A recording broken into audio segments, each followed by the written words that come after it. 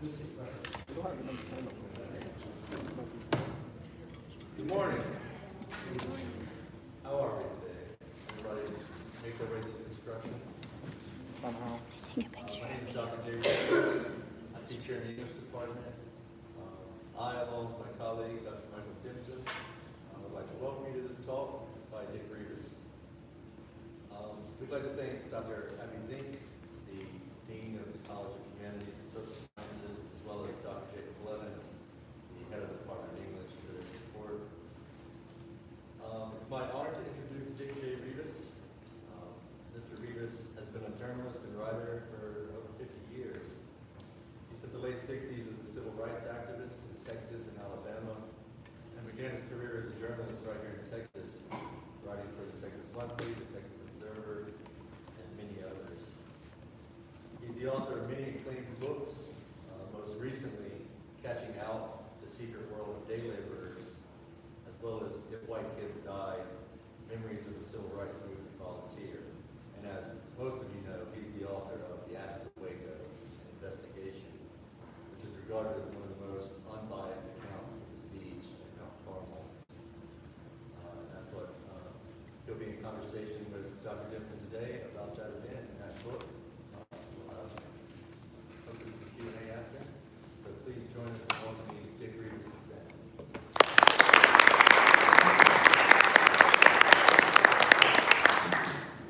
Good morning. To write the Ashes of Waco, to challenge both the government and the press's accounts of what happened in 1993, you quit your regular reporting life, which strikes me as rather courageous. Can you talk more today about your decision to research and compose the Ashes of Waco?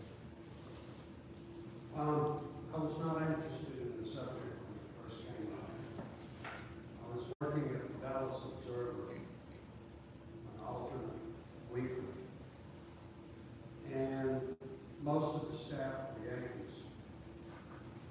And were not versed in the Bible and had never shot guns. And they knew that my background wasn't like theirs. And they asked me to go the day after the February twenty-eighth. They asked me to go to Waco and do a story. I told them I didn't see why. And they said, well, they say David Koresh has four illegally converted weapons. And I said, I know Doug Davis got more than that. And they said, but he thinks he's Jesus. And I said, well, that's, there's nothing new there either. And they said, but he molests children, and I had no answer. So I went to Waco. Now, once the siege began, the press had no out access to Mount Carmel, nor to anyone who surrendered, because the police put them in jail and wouldn't allow the press to interview them. Though the Dallas Morning News message board did sue for access, of course, it takes longer than fifty-one days to go to court. So I did the on- only thing that the reporters could do. I went to the press conference held by the ATF and the FBI. And I was used to press conferences in Mexico when I'd been a foreign correspondent. They were events where you showed up and a man made a s- very pretty speech saying nothing. Always saying nothing, but it was said so well. And at the Mexican press conferences, we had really good food. That's what I was. The ATF FBI had coffee and donuts. And so I went back to Dallas and I said, look, we can only get one side of the story. Everybody else is getting it. Why bother? As time went on, it bothered me that the press couldn't get to Mount Carmel. Because if there had been reporters inside, we never would have seen what finally happened on February the nineteenth. one night I thought, you should go in, you should go in. I thought that was my duty as a reporter. Then I thought, you'll have to go to jail for a while, you'll miss some mortgage payments. Who's gonna take care of that? And I've been in jail before, that didn't bother me. But the mortgage payments, that was good. And so I backed down. And a few weeks later, I got a tip that some militia types were going to go in. And I got my editor to say that the purpose of my story was to cover what the militia was doing, I could go in. And so I went to Waco and met with them, and they chickened out. And so the story was up in the air. In the meantime, a friend of mine who was a reporter at Fort Worth Star Telegram went down there. And she found some of the old Rodenites, some of the people who called it, who invented the name Branch Davidian and were at Mount Carmel before David Koresh. She found of. And they gave her a pamphlet to try to explain their religion.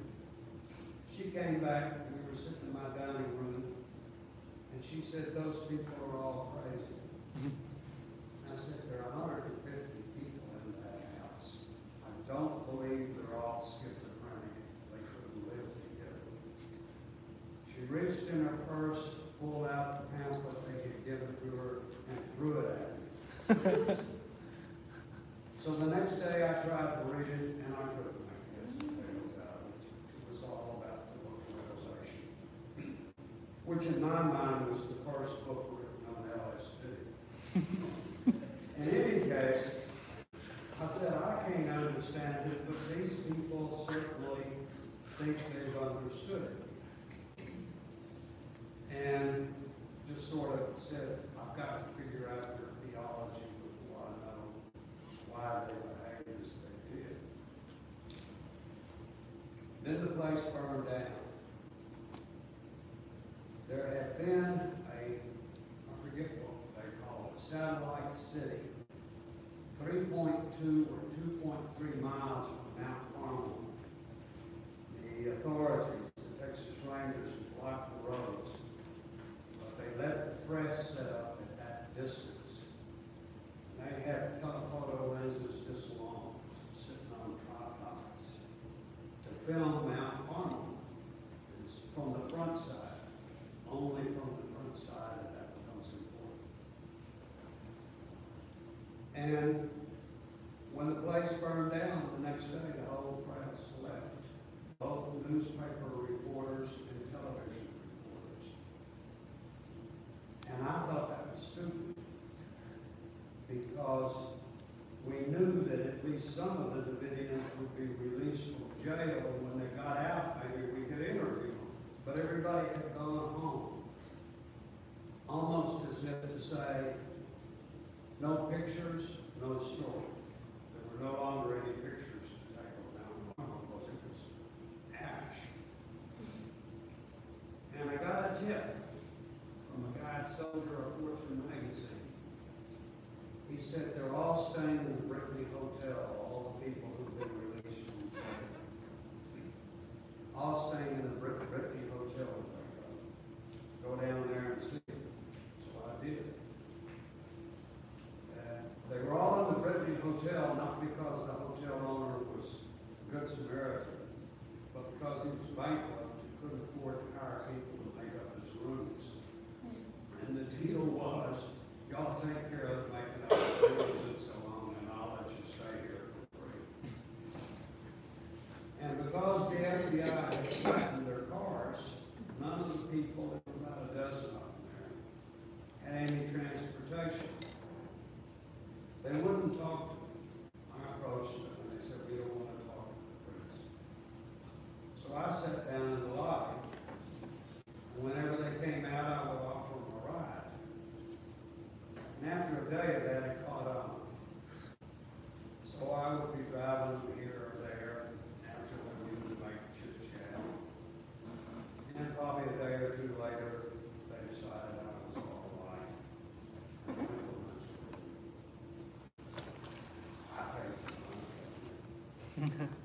And I asked them when they were gonna ask me to accept the Lord Jesus as my Savior.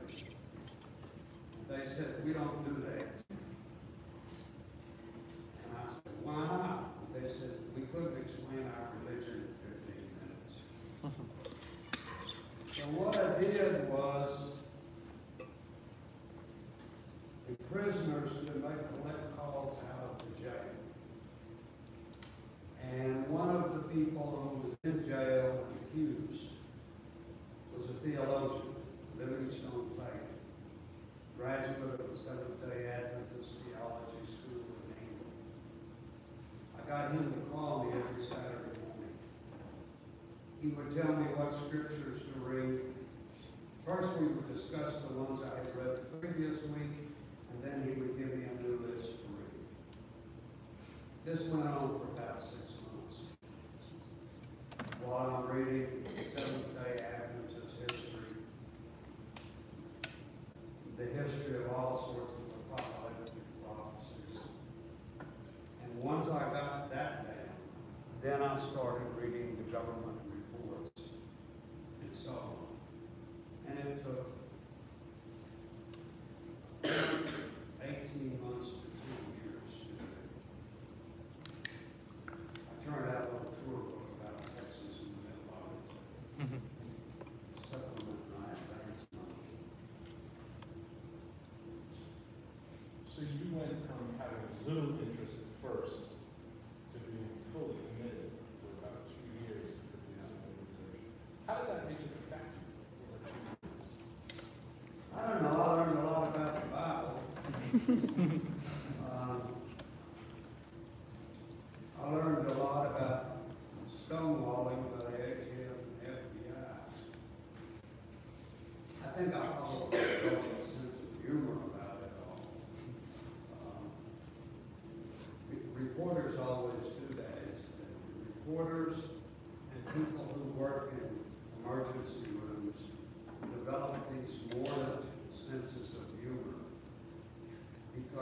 see so much tragedy and so much lying that you, if you didn't have a sense of humor, you'd just be depressed all the time. So I went through the usual processes, I guess, of studying things. After the Ashes of Faith was published, you were called before Congress to speak. And your book was sort of celebrated as well-balanced and fair, um, and really probably the most authoritative book on what happened. How do you feel about the impact of the book? Well, first of all, I want to say about Congress, I was invited by the Republicans who were doing that because the NRA had lost the battle over semi-automatic firearms that were prohibited.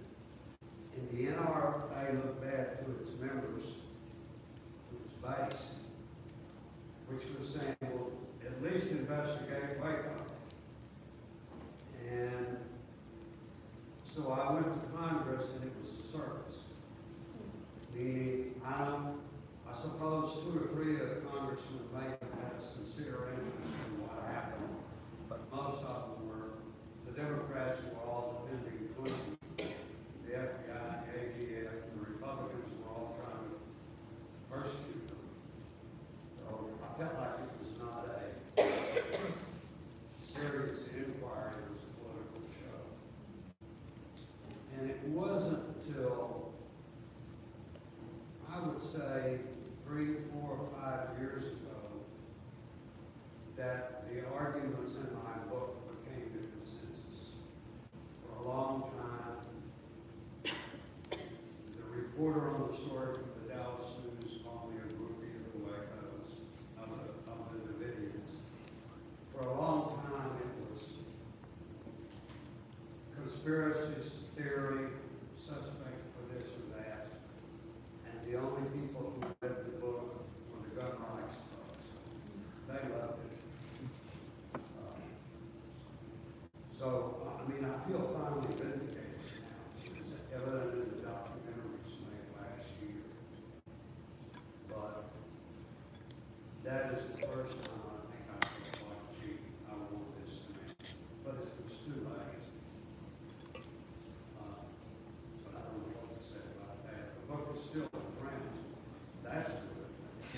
years after its publication. If you were able to follow up with the second, well, let me backtrack for a moment and ask, probably what most people in this room are thinking.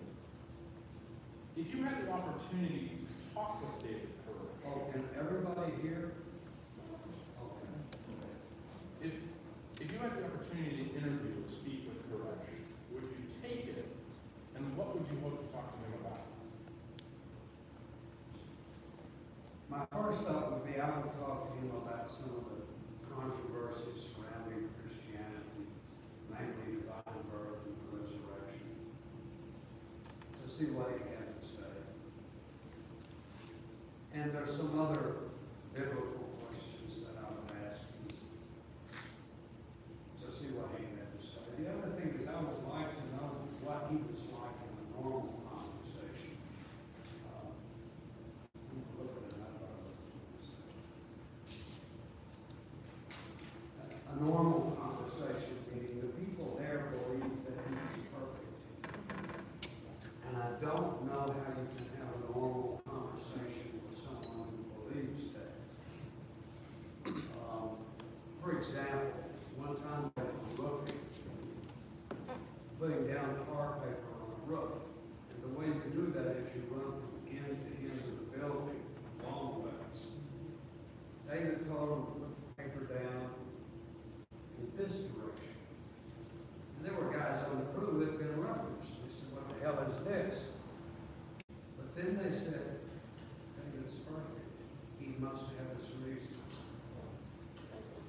So I would like to see how he would respond to somebody who just told him, you're full of it.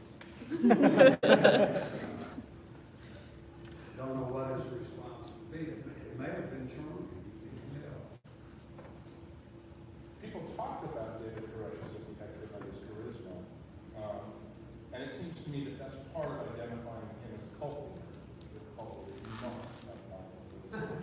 Um, But as you mentioned before as well, there were a lot of very educated, uh, a lot of smart, and a lot of well-experienced people who were in the compound. um, That weren't naive or foolish. Um, how do you feel about that designation of the Branch Davidians as a cult? Well, my usual answer, for what I figured out during writing the book, is that there was one time a man in Palestine who had a handful of followers, and he told them, sell what you have and give it to the poor, turn your back on your parents, your wives, and your siblings, follow me. That's what I call a cult. In the name of Jesus. I was just reading this morning, it was the seventh day after this church started, it was called a cult. Today it has three million members. So a cult means I disapprove of your religion, or your religion is smaller than mine. In which case, all Protestant sects are cults, according to, according to what the Catholics would say. So I think it's just one of those terms that gets thrown in to prejudice. Uh, And, and the Davidians, precious people, who didn't call themselves that, are now subject of academic study in, in colleges where they have professors who study new religions. A lady in University.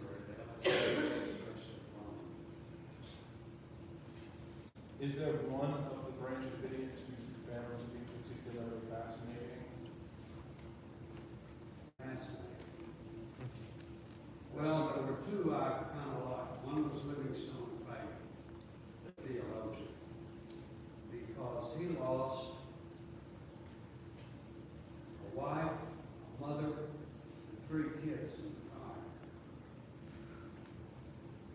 first time I asked him how he felt about that, he said, my wife, my mother, my kids are now in heaven. Why should I be worried? And as he said, he sticks. I get an email from him now. Unmovable. Um, which is pretty, pretty impressive. Honest guy.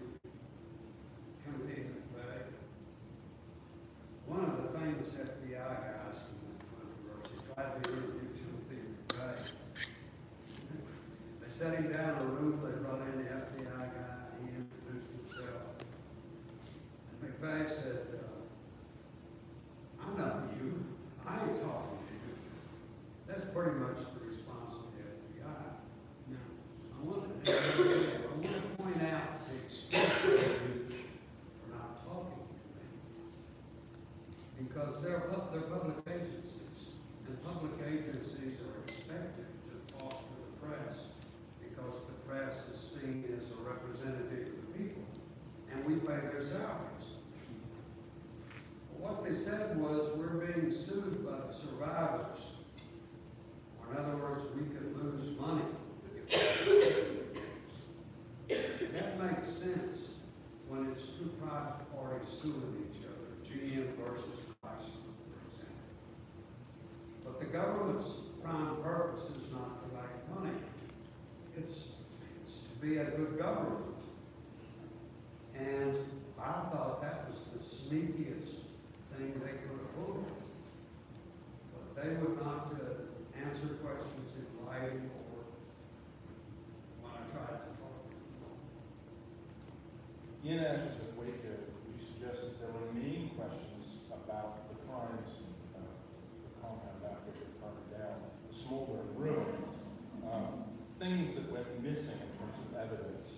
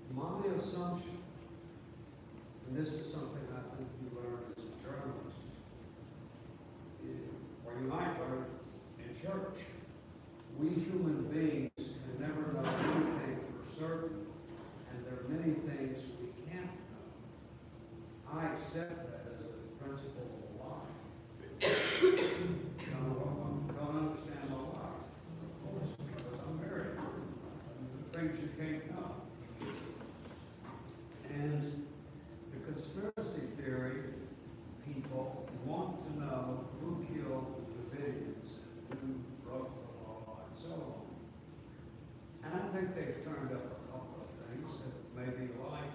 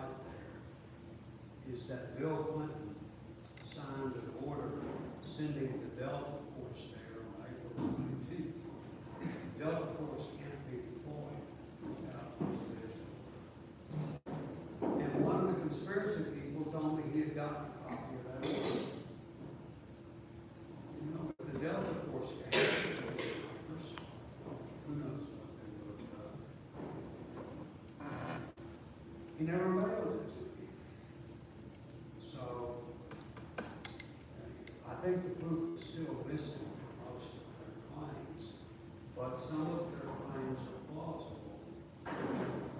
My chief concern was not to send any ATFers or FBIers to prison. That would solve the problem. Uh, some I would have liked to see go, but uh, it wasn't. That wasn't what I wrote. If you were to write a sequel today, are there additional things? issues.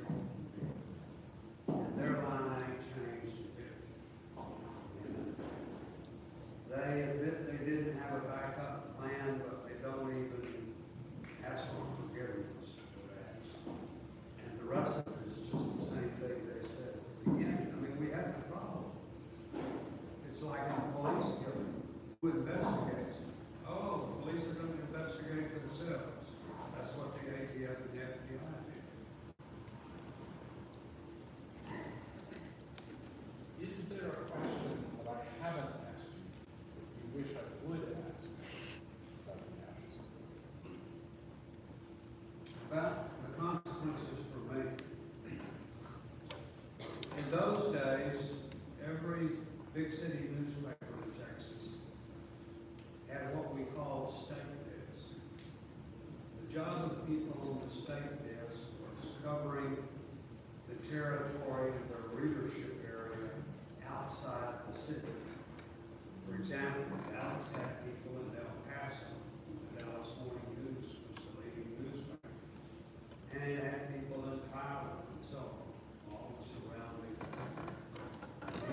strangers or in those communities or as stakeholders, people working in those cities or calling in Dallas. Well, all the newspapers during the 90s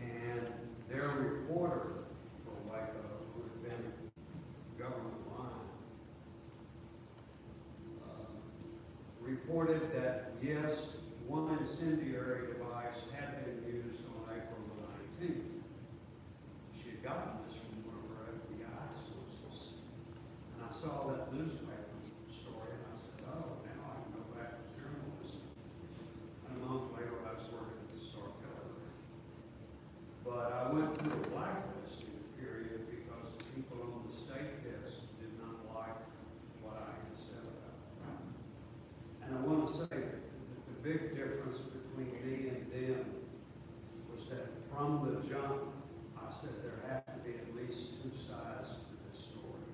The government and the branch.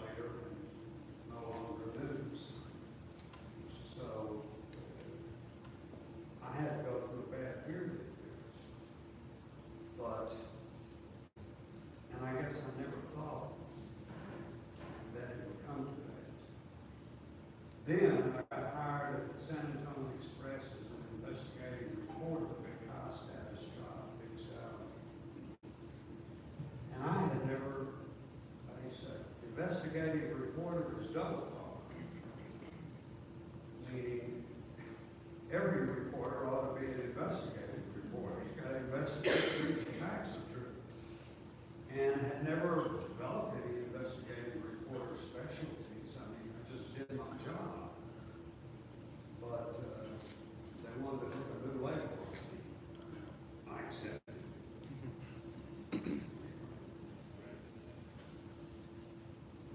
We have time now for some questions from the audience. I have a question. So I, I went with Michael out to Waco, we went to the church, and we met a woman who's. had trouble with my. Oh, I'm sorry. Uh, yeah, so, so we met a woman, I've forgotten her name, but she said she's married to the current head of the Branch Davidians. And she, she really wanted us to know that Koresh was kind of crazy and that they now have traditional conservative values. I mean, can you, how would you assess that claim? Was, was she giving a spin or would you say, since you understand the theology better, Is that this the wife of Charles Pace? That's, that's right, that's. Charles Pace is a Rodenite, or that's what Koresh would have called it. Meaning he belongs to the branch that came before Koresh. Um, And they think that Koresh was the Antichrist. That's what Pace told. I don't know what to think of any theological claim. So I don't know how to evaluate her marriage to him. Uh, I know Charles Pace, and he's been nice enough to let the Koresh Davidians hold ceremonies in the church. Who's this radio guy down in Austin? Uh, Conspiracy guy? Somebody here. Alex Jones? Alex Jones, yeah. Alex Jones and his people built a church to replace, uh, built a chapel at Mount Carmel. And Charles Pace has been good enough to let the survivors use it from time to time. So I don't know what to think about that. By the way, Alex Jones and his people, when they were combing through the ruins, claimed to find an incendiary something the FBI had shot in to burn down the place. I think they may have done that accidentally, because they had incendiary grenades in their tanks. But when that happened, because all the gun rights people were, I went to Alex Jones and I said, give me that object y'all found. I want to see if it's an incendiary device. And they gave it to me. All burned up, but it looked to me like a big battery. So I sawed it open and found a number on a sort of a rock that was inside, and all of it everywhere was a battery. Other questions? In chapter one, in Mr. Ricardo, you mentioned that Rick was obsessed with his first love. I was kind of curious if you knew her name. I'm not hearing. My hearing aid adjustment device isn't working this morning. In chapter one, Mr. Ricardo, there, you have claimed that Vernon was obsessed with his first love. Do you happen to know what her name was? Uh, I don't know. I've heard her name, but I don't, I- I've heard her first name. At one point, I knew her first and last name, but I couldn't find it. The last I knew, which has been probably twenty years ago, she was living in Fort Worth and had a child with her. And at one point, she visited, the Davidians hold a reunion every April nineteenth. She visited one of those reunions with the child. And you have to understand that the Branch Davidians would have regarded that child as a child of God. And the way they behaved with, around that child beats anything I ever saw. I mean, I've never seen anything to compare it to. And- But I don't really know who she was.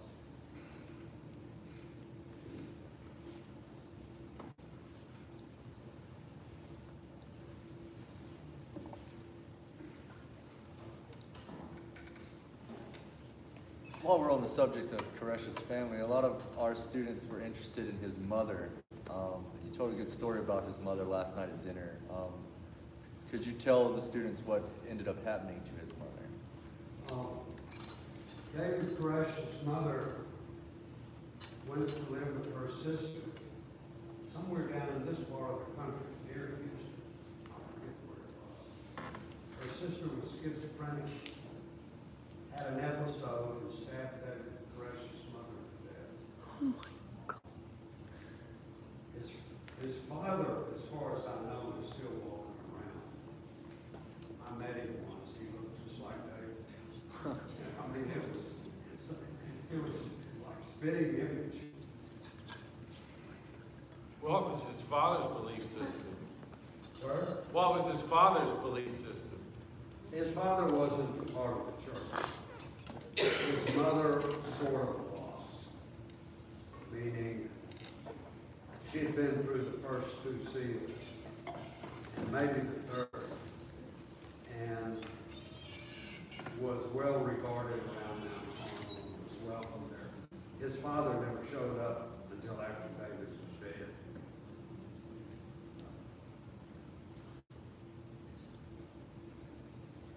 Oh, um, is there any part of your investigation that you regret, or maybe a part that you regret you didn't do?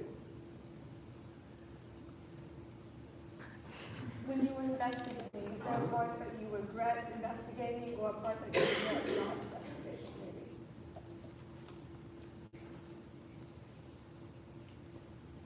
I regret a lot of things in life. Um, But the only thing I can tell you I regret about this book is yesterday I discovered a typographical error.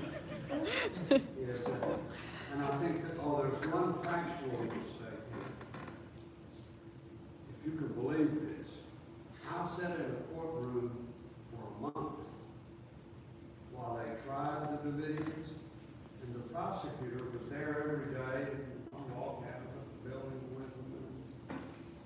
And I said in the book that he was short. Now, it so happens he's wide.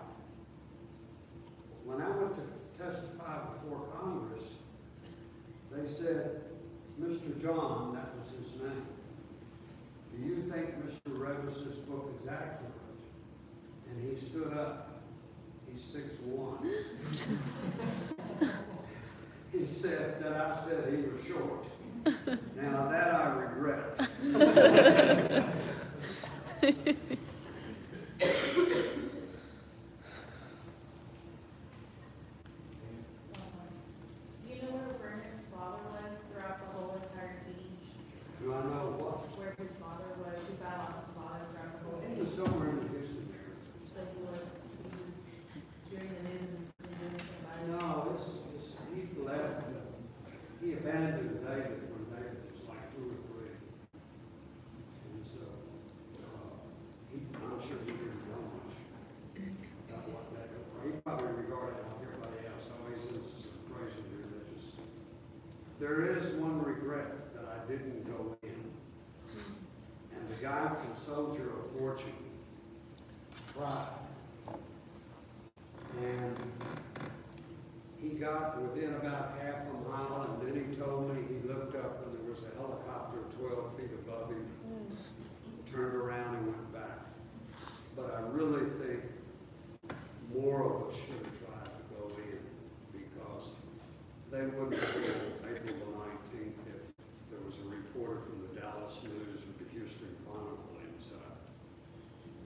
And later I tried to go in, and so did the Soldier of Fortune guy had another standoff in Montana. And the difference was the FBI in Montana had learned a lesson. It let family members visit the guys who were up. And of course, what the family members said was, I don't care what you believe about the Bible and the Constitution, you're my son or my daughter, I want you alive. And it worked. Those people surrendered. Whereas at Mount Carmel, they wouldn't let.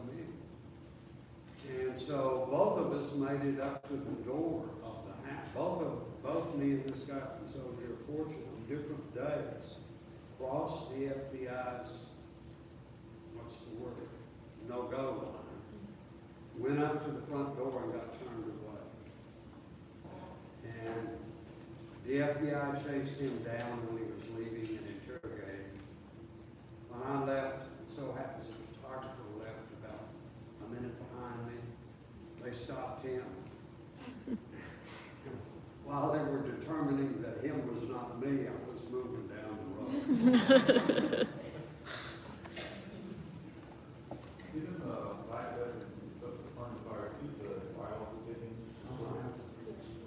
Given the lack evidence and stuff that fund fire, keep the wild, the wild sort of a sham. What is this? One more. The opinions we try afterwards, reactions of correction, that are sort of a sham, the, burns fire. What was the sham, the court process? Yeah. Well, the court process, they had a judge who was prejudiced against them. And they had a jury, which I think was unfit. They, they should have gone to trial in Waco. Though the people of Waco did not, before Koresh happened, they didn't know who he was. And didn't dislike him, those who knew him got along with him. Afterwards, they were just embarrassed. And they might have brought in a heavy uh, verdict to say Waco has no sympathy with these people. But they moved it to San Antonio, where like two-thirds of the jurors were Catholic. And Catholics are not used to debating what the Bible means. They get that from above. The book of Revelation, according to the Catechism, is a book of uh, historical commentary, not a book of prophecy, as Koresh. Well, Koresh, you, you need jurors who are used to arguing about the Bible, and they, they never got that. How do you think the children that survived the Waco siege were affected in the long run? Well, probably I don't know enough about children to tell you. But what happens when groups like this, and it happens not only with religious groups, but groups of political revolutionaries. What happens is when they lose, some keep the faith, some don't know what to do, and some repudiate. That's what happened to the adults. Their children, as far as I know, are mainly in the don't know what to think category. Meaning, when they're home, they'll go to church, but they ain't out on campuses and in the world of work defending David Koresh. And do you think his mother believed the whole scheme of him being the Messiah, or was she kind of on the same page as the father? No, I think she believed about half of it. I think she was glad to see her child as a religious leader. Now, as for the details of what he believed, who knows if she paid attention to it. Um, She was, she did not live there. She lived outside Mount Carmel and would come to visit two or three times a year, as would a younger brother of Koresh but uh, it's, it's hard to say. Did, uh, I, I remember, uh, that there was a sheriff, a local sheriff that had some kind of communication with Koresh frequently during the siege. Did you, I haven't read your book, so I apologize. Did you, uh, talk with that person? Was it? Get to talk to me, though one of the conspiracy people later did. But Mount Carmel had a big pond in its large front yard where the sheriff's department went fishing. That was just something they did. Let's go out to the pond and fish there. And the sheriff said at the time that if they had told him to go knock on David Koresh's door, he would have got a search warrant, sir. But the ATF didn't even tell him that they were in town, which most Texas sheriffs believe that whenever a an outside lawman comes to your town, they should first have you. And Texas sheriffs were offended by that. We're out of time for questions, but we will be here for a few more moments if you'd like to come up and ask Mr. Reavis a question. There are books available for sale just outside the door, and I'm sure that he would be willing to sign a copy if you purchase one of these books. Let's give him a round. You.